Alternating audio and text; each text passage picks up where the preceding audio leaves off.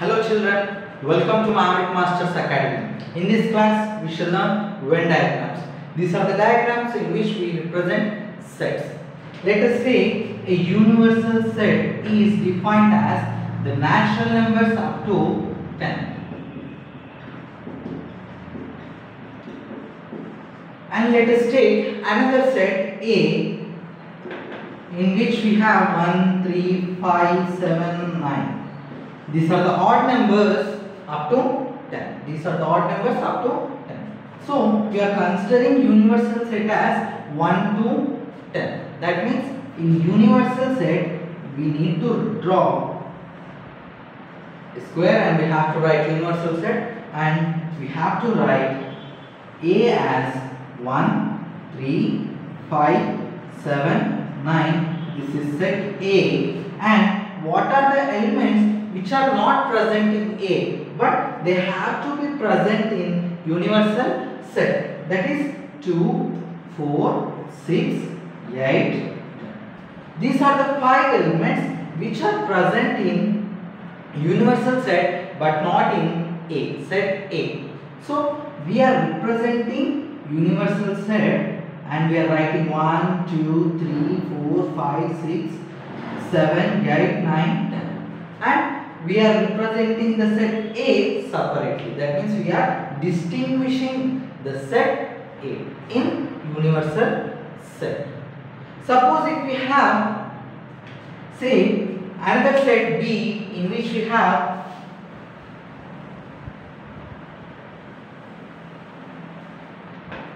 three and seven. We need to represent universal set A and B. Set A and set B in Venn diagram format. That means we need to draw same like the previous one. Say this is universal set and if we consider set A and set B. What is set B? We have 3 and 7. And what is set A? We have set A is 1, 3, 5, 7, 9. But as we have the elements of B in A, I am taking B in A. I am taking B in A. And I am writing the remaining elements that means which are present in A but not in set B. Those are 1, 5, 9. But here we have to represent universal set also. We have represented B, represented A and we need to represent mu. That is universal set. What are the other elements which are not present in A but in universal set? We have to write those elements in the area which is left other than A and B. That will be 2, 4, 6, 8. You can write any manner but the set should be legible that means the naming should be legible. The examiner must understand what you are naming the set. Here it is a here it is b and this set is universal set. So you can say a is subset to a is subset to mu. That means the elements all the elements of a are present in universal set. So a is subset of mu and B is subset of because the elements of B are present in A and there are more elements in A other than B. So B is subset to A and from this you can say B is subset to A is subset to mu. You can say B is subset to can say B is subset to A and A is subset to mu. But from this you can say B is subset to mu. That means every element of B is present in universal set mu. Every element of B is present in universal set. Next we shall go for the sets which we have which are not subsets. Here we have discussed subsets. Let's go for the sets which are not subsets to each other. Let us say B will be 2, 4, 9, 7. A is 1, 3, 5, 7, 9. B is 2, 4, 9, 7. So, first of all we need to take universal set because everything is present in universal set. So, we have to consider universal set first. First we have to consider universal set. And what are the other sets we have? A and B. And see whether there are common elements in both. Is 1 present in B? No. 3 present in B? No. 5 present in B? No. 7? Yes. 9? Yes. That means we have 7 and 9 common in both the sets. When they are common, we need to join the sets. Already we have discussed in types of sets that is if there is at least one common element in both the sets then they are called joint sets. That means they are joined together. So here in this part, this part is known as intersection part or common part for both the sets A and B. In this intersection part, we need to write the common elements 7 and 9. If we sorry, if we have to take 7 and 9 here, if you close this part of B and if you see this, this will be A. That means 7 and 9 are present in A. And if you close this part and see this, this will be B and 7 and 9 are present in set B. That means we are representing 7 and 9 in the common part. Now let's go for the elements of A which are not common with B. What are the other elements we have? 1, 3, 5. Let us write that 1, 3, 5 and next let's write B that is 2 and 4. Now we have universal set also. If universal set is not given, you need not write the elements which are outside these two sets. If universal set is not given, that means only A and B are defined, then you need to draw the universal set but you need not mention the elements which are present outside A and B. That means here we have universal set. Universal set is defined in this case. So we have to write all the other elements other than A and B which are present in set A and set B. We have to write outside these two sets. Let us see that. 1, 2, 3, 4, 5, 6 we have but 6 is not present in A and B. So go for 6, 7, 8. 8 is present in universal set but it is not present in A and B. 8, 6, 7, 8, 9 and the other is 10. So this is how we need to represent the sets in Venn diagram format. First we need to represent the universal set then we have to represent A and B. We have to see whether they are subset to each other or they are joint sets or they are disjoint sets. That means if there are no common elements here we have at least one common element. If there are no common elements that means this part is not there.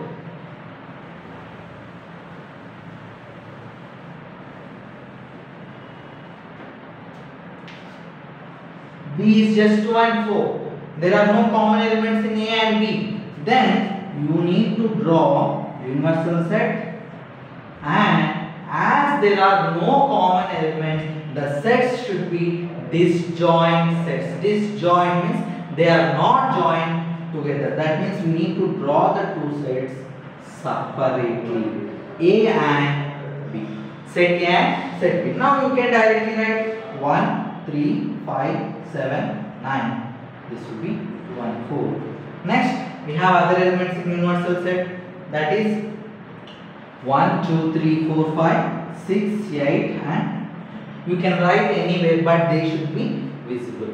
Just you need to think that you are taking a universal set and in that you are mentioning in general case we can say if you are taking a state if you are taking a state that is a part of a country state is a part of a country suppose if you consider universe, in universe we have earth, in earth we have continents, universe, earth, in earth we have continents, separate continents we have.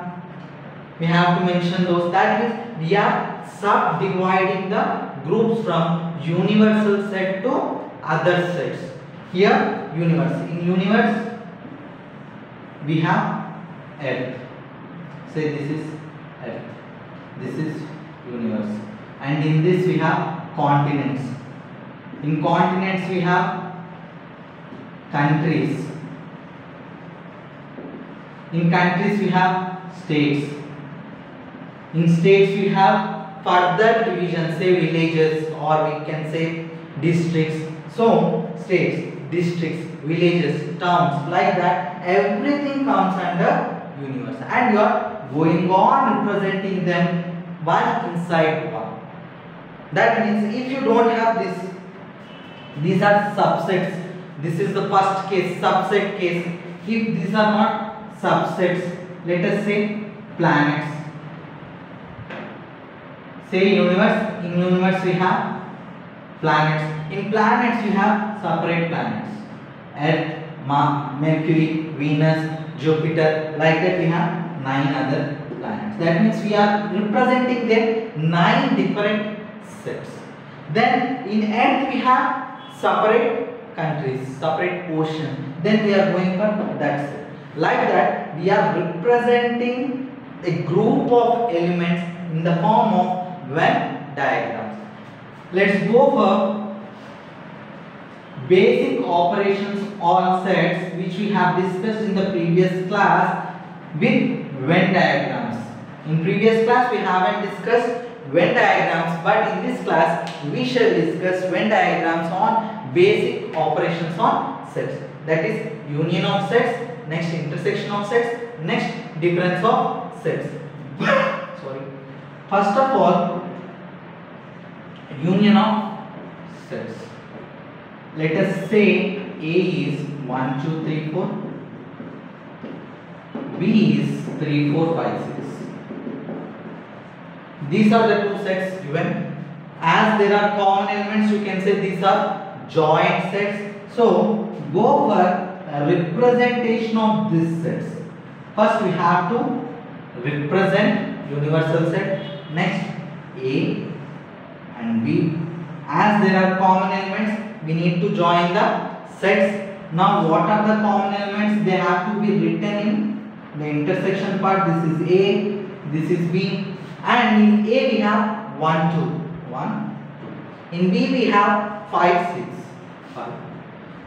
Till here we are representing the sets. Now, if we go for union of sets, union means we are combining them. So, just draw the part whichever you are considering for union. That means I am considering every element of A and B.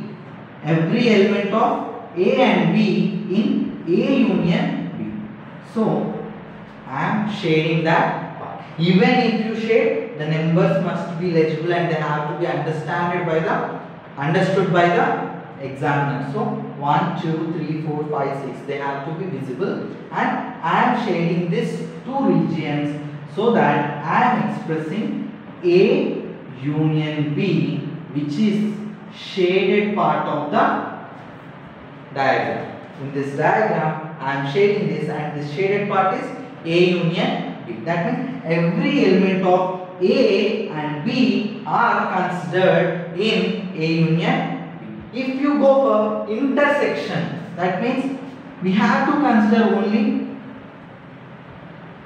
intersection part. If you are going for intersection,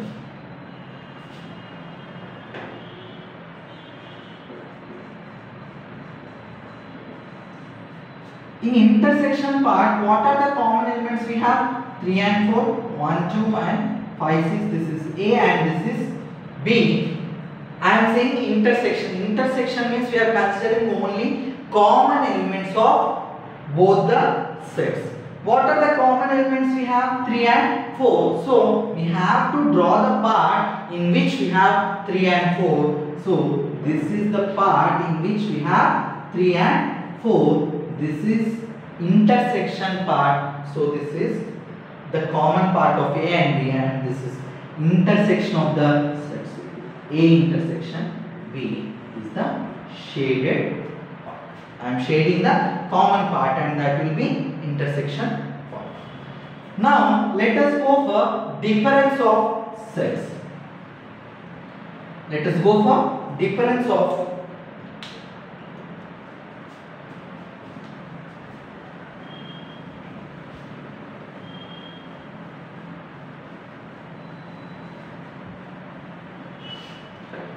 difference of sets.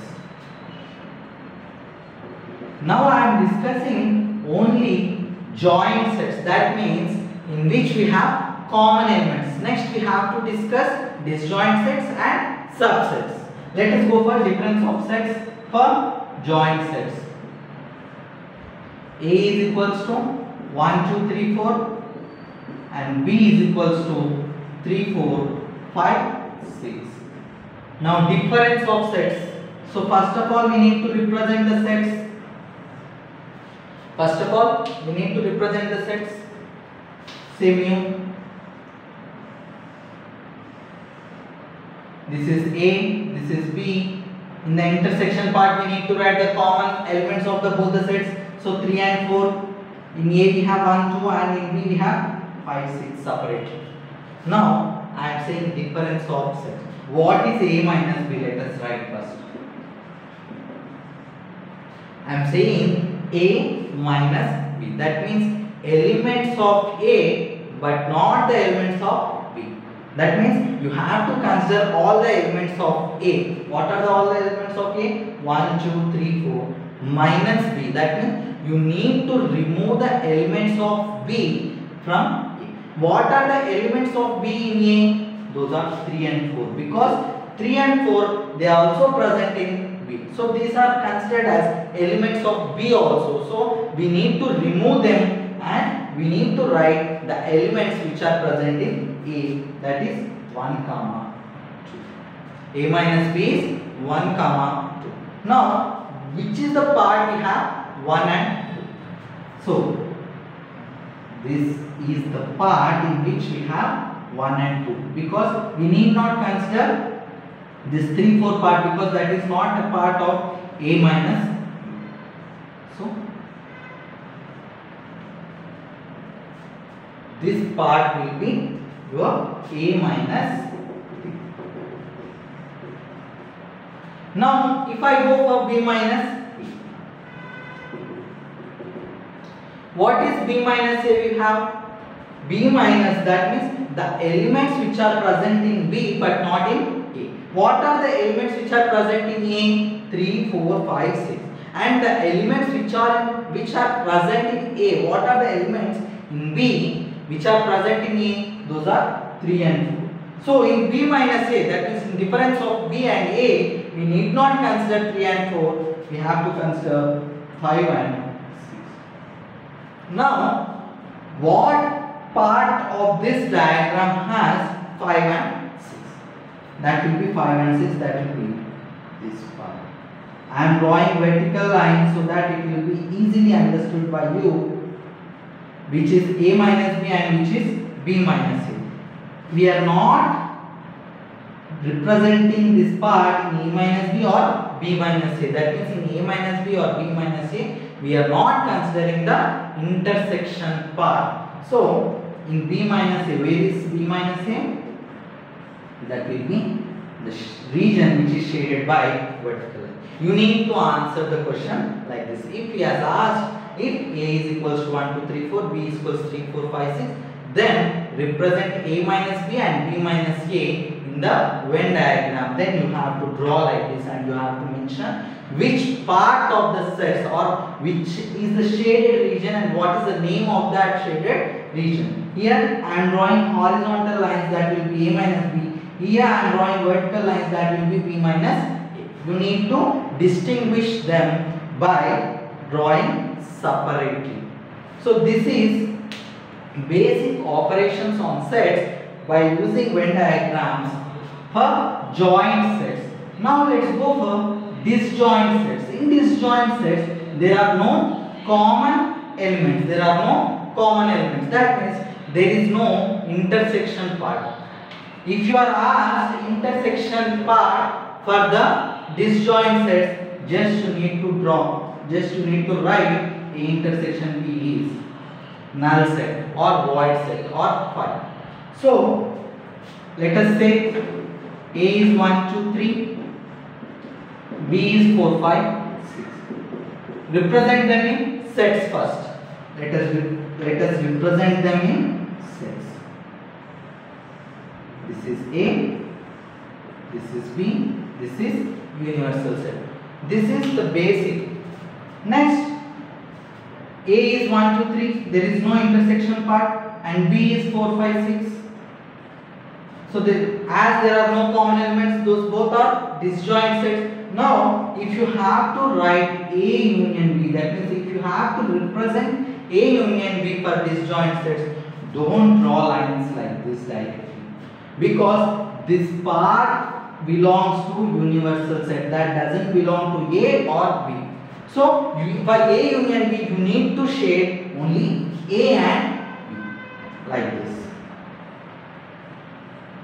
If you draw like this, that will be A union B. Because you are considering every element of A and every element of B for A union B. So, this will be A union.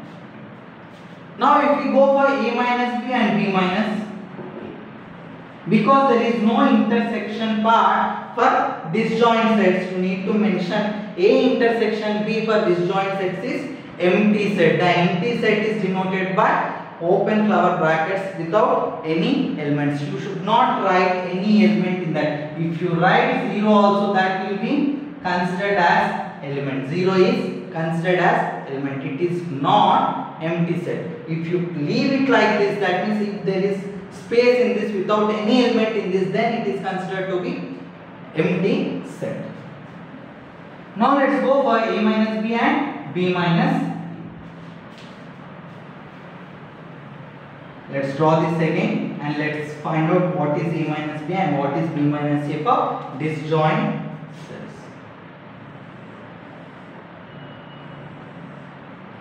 For disjoint sets.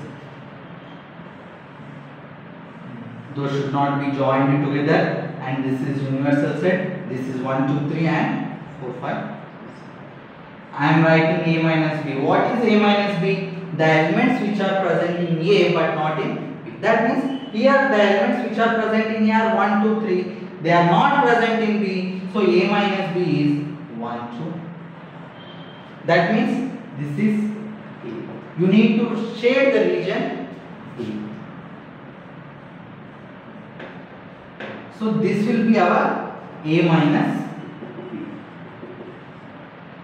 Sorry.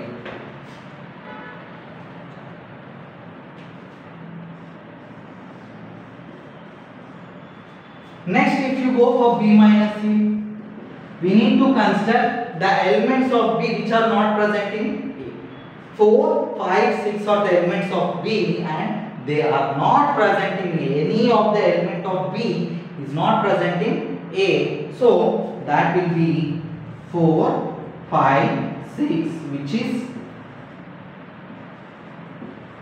for disjoint sets A minus B is A and for disjoint sets B minus A is B. That means if you are considering two disjoint sets and if you are considering their difference the first set in the difference will be your answer. A minus B is A and B minus A is B. So here shade the region.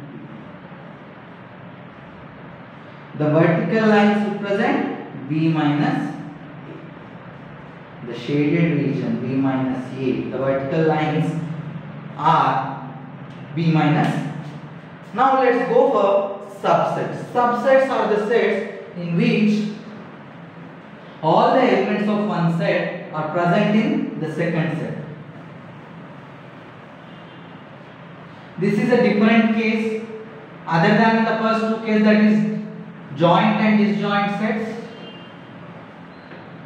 So you need to understand this carefully. If you have A is equals to 3, 4, 5, 6 and B is equals to 5, 6. Every element of B is present in A. Every element of B is present in A. That means B is subset to when B is subset to A. What is A union B? Let us see that. Already we have discussed this in the previous class. Let's go for that once. 3, 4, 5, 6. Let us stop it here because if you write 5 and 6 that will be repetitive. In sets you need not write repetitive elements and you need not follow any order but you have to mention every element of that particular set. So A union B is 3, 4, 5, 6. A union B is 3, 4, 5, 6 which is A. A union B is Let's go for A intersection. What are the common elements of A and B? Those are 5 and 6 because B is subset to A and every element of B is present in A. So every element of B is common in A. So 5 and 6 that will be our set B. So for subsets A union B will be your bigger set. In subsets A union B is your A union B is your bigger set and A intersection B is your smaller set. Here A is bigger set and B is smaller set. For subsets A union B is bigger set. A intersection B is smaller set. Let's go for A minus. What is A minus B? A minus B that is every element of A which is present in A but not in B. That will be 3 and 4. 3 and 4 are the elements of A which are not present in B or else if you go for B minus A that will be empty set because every element of B is present in A. 5, 6 are present in A. So there are no other elements which are not present in A sorry present in B which are present in A. There are no other elements other than 5 and 6. So that will be empty. Now if we go for Venn diagrams, go for universal set and I, as I already told you if it is subset you need to draw a set in. The bigger set will be larger circle and the smaller set will be smaller circle. That means A is bigger set here, B is smaller set here. What is B we have? 5, 6. What is A we have? 3, 4 and 5 and Now if you go for A union B, A union B is 4 or that means I am shading all A. I am shading all the A part. That's why A union B is A. A union B is A. This is the shaded region which is A union. Let's go for A intersection.